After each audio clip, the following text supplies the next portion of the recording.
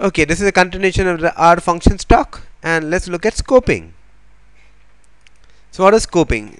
So when you use the less than minus sign you are assigning to the local variable. If you double less than minus you are assigning to the global variable. Let's look at example. In x equal to 10 and then you have a function g and then g adds 1 to x and it prints x. In this case every time the, the global variable x is read and the local variable x is modified. So it prints 11 twice. So g equal equal to g is true. In the global case x is 11 and then you add 1 to it it prints 12 then you call this h then you call h twice. The second time it comes here the 12 becomes 13 12 is not equal to 13 so it prints false. So make sure that uh, you understand that this is a lexical scoping not dynamic scoping. So let's look at an example to clarify what we mean by lexical scoping. Suppose we have a equal to 10 then we have a function f which refers to the global variable a. Returns a into x. And then we have a function g which takes which changes the value of a to 2 then it calls fx so the question is when g calls f which f a does g f c. In case of dynamic it will see this value. In, in case of lexical it will see the one above it. Then we call g2 so let's look at g2 g2 x equal to 2 and then it goes to f2 f2 would be uh, 2 into a. And a in this case would be 10 so it prints 20 N not uh, this 2 2 into 2 4 in dynamic it will be printed this 2 at the runtime this is on the stack in the caller stack of f. G is on this. First g is on the stack then f is on the stack and 8 equal to 2 is on the stack. But f doesn't see that. F sees only the what's in the, the in the static scoping defined in the the code not the way you call it. Let's look at another example. A function f just returns x and x is a global variable x equal to 1 and in this case g uh, is a function that changes x equal to 0 and then calls f. Now the question is which f does it see? Does x equal to 0 x equal to 1 so when you call g you can say you see 1 because f sees x equal to 1 and f is not dynamic. In dynamic scoping f would be seen as 0 okay so that's clear. So let's look at example. A is equal to 1 b is equal to 3 and the same example like before. What is the output of g g2 2 and since we know it is lexical scoping these guys will be ignored. F2 f2 would be 2 2 into 1 plus 3 so that is 5 and this values are not used. This values are used in the lexical scope. So let's look at example of closure next. What is a closure? Closure closure of captures the values. So suppose you have function f and this is the scope. And then in this scope there is another function which returns a.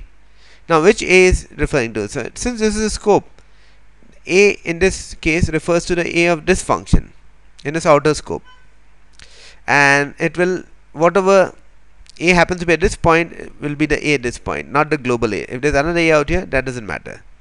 So let's look at example. Values used in f are captured at function creation time if the value changes f is not affected. Because suppose a is equal to we create a function g with f a equal to 7 g is actually a function. F returns a function with a equal to 7 7 so a is 7 so it's a function that returns 7 so now we change the value of a to 10 but the the function inside the scope is not changed. So if we call g you still get 7 that's the idea of closure so what's the use of closure you can make static variables and static counters which which each each counter has its own copy of a of a of a variable.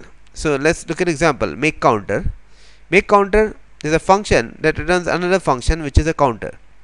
Inside the function you keep a static variable k equal to 0 and then what the function the count uh, the incrementer what it does is the function with nameless function this incrementer last last value in the function is a counter. So it will it will add k equal to k plus 1 basically this k will get add uh, 1 to it this k and then return the value of k. And this is assign it global but not global in the parent environment. So in the parent environment this k gets modified. So let's look at example what happens when you use it.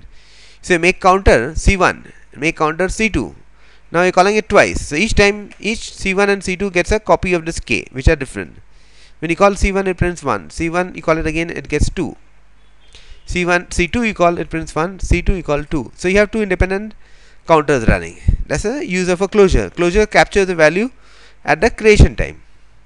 So let's look at another example. What is the output of this code? You have k equal to 1 inside it you have a, you have a function s which is a closure of it runs another function with another k inside it. And in this case k starts at 2 and you do k equal to k plus 1 and return k. So you have two counters which start at 2 c1 you assign to s and you call s twice. C2 at s. Then you call c1 c2 c1 c, c1 c2 c2 and at this point you assign c1 to s. So the old values old object in c1 is lost. Then again c1 starts from 2 then again you call c2 which is still continuing from here. So let's look at output. So th uh, this is not used at all first of all. This k1 this is closure static variable uh, local to the function s.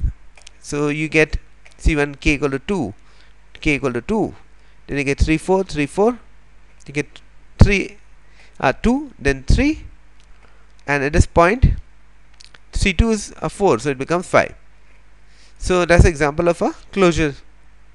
So what does this print? This exercise for you guys. X equal to 1 e is a function that returns x. It will return 1 x equal to 2 it's a global variable. Now what is the value of e? Is it this x or this well x since this is there's no closure out here the, the value of x is change and suppose you change eh, the global x in this case to 3 but they're, they're already all in the global environment so it will the same x is actually changed to 3 and you call e again it should actually print 3 because the global x is changed. Then you change to 4 again you call it, it should print 4 so assigning to the global variable there's an answer. You print 2 3 and 4 let's look at one more exercise. This is the same thing with closure. In this case a equal to 100 b equal to 200 and return a function ax plus b where x is a value that you supply out here. First you create a function g with 20 and 10 so it is 20x plus 10 g is a function uh, 20x plus 10 then you call it with 2 so it will be 2 into 20 plus 10 second times you call it f. F was created uh, out here with the, the default argument 100 and 200 100 into 2 plus 200 so 102 plus 200 this is the value out here.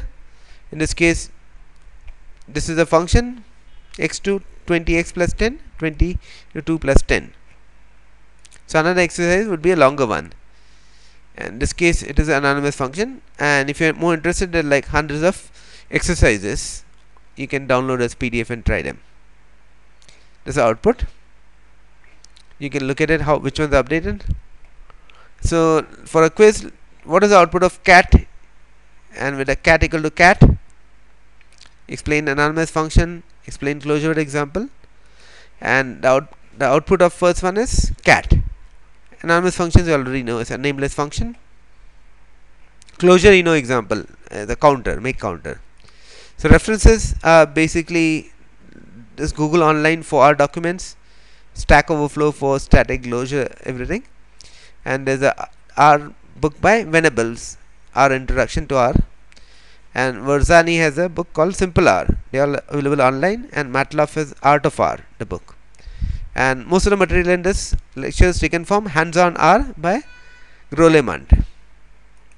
Okay, and then most stuff you need you can find in Advanced R, this website, and closures R language reference and data types on Wikibooks. Just Google around and you'll find it. Thank you.